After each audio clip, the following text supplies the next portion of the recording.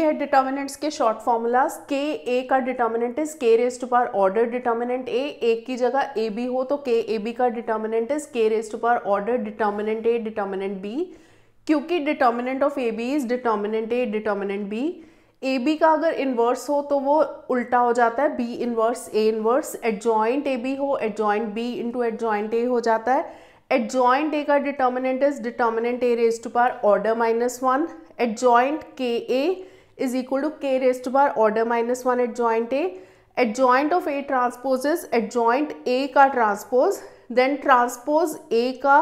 determinant is equal to determinant A ही होगा and A inverse का determinant is 1 upon determinant A.